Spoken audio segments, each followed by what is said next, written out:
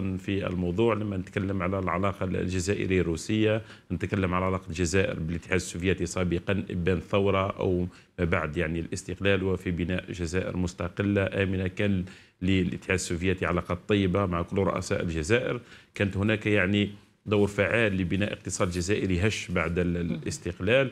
كانت روسيا لها مواقف يعني بعد حل الاتحاد السوفيتي وفيدرالية روسيا خاصة في العشرية السوداء الدائمة التي يعني جازت بها الجزائر. اليوم تجسد الزيارة الميدانية للسيد الرئيس عبد المجيد تبون على أن الجزائر اليوم يعني هناك نهوض يعني جديد وقوي واستعادة الجزائر تدريجية لقوتها الدبلوماسية والعالمية القوية. اليوم سيد رئيس الجمهورية وهو المخول الوحيد يعني لقيادة الدبلوماسية إلى بر الامان اليوم نحن نعرف يعني قفزة نوعية في السياسة الخارجية التي أقرها السيد الرئيس عبد المجيد تبون، اليوم الجزائر رجعت لمكانها اولا الإفريقية والجزائر أصبحت رائدة يعني بكلمتها مسموعة في إفريقيا وكذلك في كل دول العالم. اليوم يعني زيارة الرئيس حددها الرئيس من خلال يعني حضوره المنتدى الأعمال الجزائري الروسي من خلال كلام السيد الرئيس أنه يعني كانت هناك يعني استراتيجية اقتصادية بين البلدين هناك تعاون أمني هناك تعاون عسكري هناك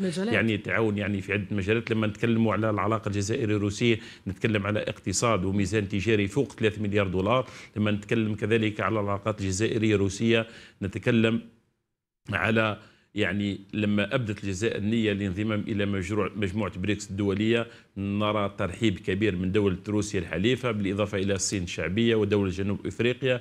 اليوم لما نتكلم كذلك على زيارة السيد رئيس الجمهوريه عبد المجيد تبون من خلال كلمة السيد الرئيس التي ألقاها أمام المنتدى رجال الأعمال السيد الرئيس كانت هناك نية أنه يتكلم على قانون الاستثمار الجديد الذي يعتبر العمود الفقري للاقتصاد الجزائري. اليوم قانون الاستثمار من خلال يعني كل يعني القوانين التي أقرها يعني البرلمان الجزائري من قانون الاستثمار وكذلك قانون الإجراءات المدنية ويتبعه قانون تجاري أن الجزائر اليوم أصبحت ملاذ الاستثمارات الروسية التي تعيش فيها روسيا يعني ضغط يعني من خلال يعني عقوبات تقرها الولايات المتحدة الأمريكية ودول الغرب على روسيا. اليوم يعني رجال الأعمال يعني الروس يلقوا الملاذ في الاستثمار في الجزائر الذي دعاهم السيد الرئيس اليوم كذلك إلى فتح بنوك روسية في الجزائر من خلال تطمينات على قانون الاستثمار الجديد الذي يسمح ب كامل وهو كذلك السيد الرئيس اليوم في خرجاته لاحظنا شيء مهم مجموعة رجال أعمال محترمين يعني طاقم وزاري محترم من وزير الطاقة ووزارة الصناعة لأن الجزائر دولة قوية خاصة في مجال الطاقة وتربطها علاقات وطيدة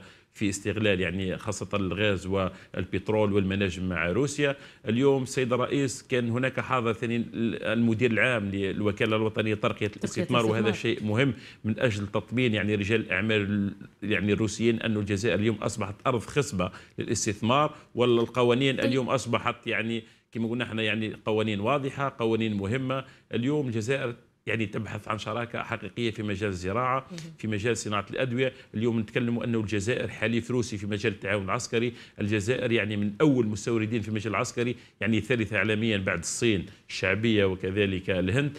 تربطنا كذلك علاقات تاريخية متينة مع الاتحاد السوفيتي سابقا وروسيا اليوم. إحنا نطمح إلى أن تكون هذه الزيارة زيارة استراتيجية زيارة اقتصادية زيارة تكون فيها الجزائر مستفيدة بقدر كبير وخاصة أن أمام نظام عالمي جديد نظام فيه بؤر توتر لما نتكلم على الجزائر اليوم الجزائر يعني في دول الساحل هناك مشاكل كثيرة. لديك يعني جارة يعني لما نتكلم على جارة غربية لا تريد الخير للجزائر من خلال يعني إدخال مؤثرات ومخدرات على حدودنا حدودنا ملتهبة. لما نتكلموا على الجزائر نتكلم على كذلك على دولة ليبيا الشقيقة وطلب السيد رئيس الجمهورية في كامل لقاءاته سواء مع وزراء الخارجية دول الغرب أو أمريكا أو روسيا أن الجزائر تمنع التدخل الأجنبي في ليبيا. هذه المقاربة أصبحت جزائرية روسية أن الحفاظ على أمن استقرار ليبيا هو من أمن استقرار الجزائر. لما نتكلم كذلك على العلاقات الجزائرية الروسية نتكلم على الشراكات الكبرى في مجال الطاقوي والجزائر شريك يعني حليف يعني يعني كان هناك يعني ادعاءات أن الجزائر تحصلت على عقود يعني للغاز الروسي لكن الجزائر حليف استراتيجي. الجزائر اليوم لاعب محوري أساسي مهم. في المنطقة من خلال الدبلوماسية التي نطمح إليها اليوم هي استرجاع المكانة الدبلوماسية للجزائر. والجزائر اليوم أصبحت قوة اقتصادية قوة دبلوماسية وسوف تكون لها بالنسبة لعدد الدول.